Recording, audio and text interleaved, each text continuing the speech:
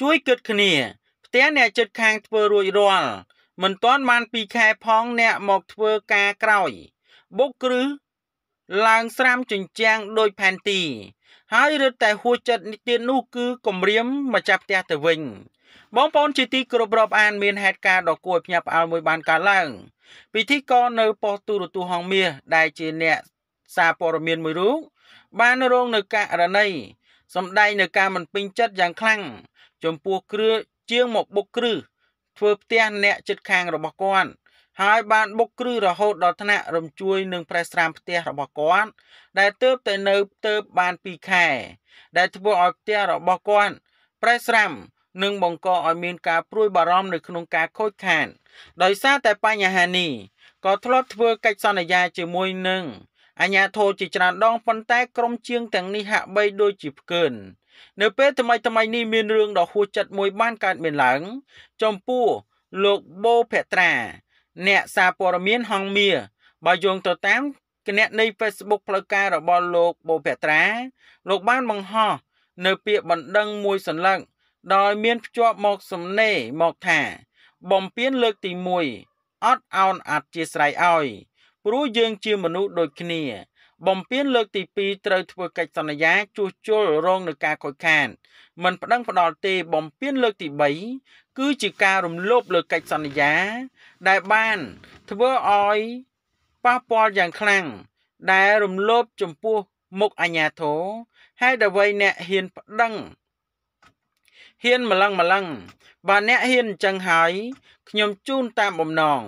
បន្ទាប់ពីការបង្ហោះបានពីថ្ងៃ ស្រាប់តែនៅក្នុងថ្ងៃទី13ខែមករាឆ្នាំ2022នេះលោកបូភត្រាបានរៀបរាប់បញ្ជាក់ថាលោកហួសចិត្តណាស់ដែលកំពុងតែផ្សាយព័ត៌មានរឿងគេ ស្រាប់តែអ្នកផ្ទះឆាតមកប្រាប់ថា គេបុកគ្រឹះទៀតហើយប្រេះចិញ្ចាំងដូចផែនទីអស់ហើយអ្នកណាមិនស្ដាយ អ្នកណាមិនអន់ចិត្តបើផ្ទះធ្វើហើយចូលនៅមិនទាន់បានពីខែស្រួលបួលផងបើយោងទៅតាមការរៀបរាប់អំពីសំណាក់លោកបូភត្រា នៅក្នុងវីដេអូលោកបានបញ្ជាក់ថាកាលពីថ្ងៃទី9ខែមករាឆ្នាំ2022មានបរិបុគ្គលម្នាក់សុំមិនបញ្ចេញឈ្មោះបានជួលគ្រឿងចាក់បុកគ្រឹះសាងសង់ផ្ទះនៅជាប់ផ្លូវអ្នកចិត្តខាងជាច្រើនខ្នងដោយបុកគ្រឹះ ខុសលក្ខណៈបច្ចេកទេសបណ្ដាលឲ្យរំជួយប្រេះស្រាំខូចខាតចិញ្ចាំងធ្នឹមផ្ទះប្រជាពលរដ្ឋចំនួន3ខ្នង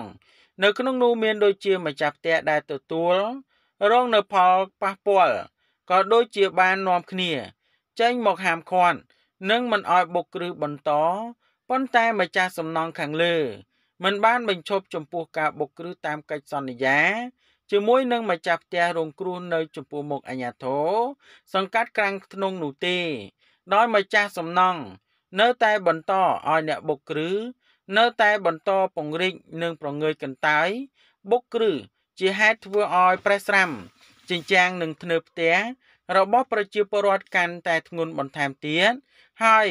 ក្រោយពីដឹងការផលប៉ះពាល់កាន់តែធ្ងន់ធ្ងរ ប្រជាពលរដ្ឋបានដាក់ពាក្យបណ្ដឹង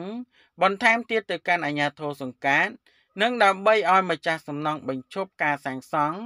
តែមកទល់នឹងពេលនេះការសាងសង់គឺត្រូវបានផ្អាកជាបណ្ដោះអាសន្នហើយបន្ទាប់ពីប្រជាពលរដ្ឋបានប្តឹងជាលើកទី2ប៉ុន្តែចំពោះសំណង់ដែលរងផលប៉ះពាល់ខូចខាតគឺមិនទាន់មានដំណោះស្រាយនៅឡើយទេ សូមបញ្ជាក់ថា នៅក្នុងផ្ទះដែលខូចខាតទាំង3ខ្នងនោះគឺមានផ្ទះខ្ញុំមួយខ្នងដែលទៅតែសាងសង់រួចខ្ញុំចូលរស់នៅមិនទាន់បានពីខែស្រួលបួលផងក៏រងនៅករណីប្រេះស្រាំ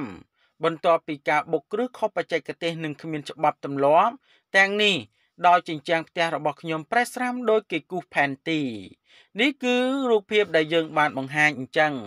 ដោយចំណុចព័ត៌មាននេះមានប៉ុណ្ណឹង ដើម្បីទទួលបាននូវព័ត៌មានថ្មីៗបន្ថែមទៀតសូម Subscribe និង Like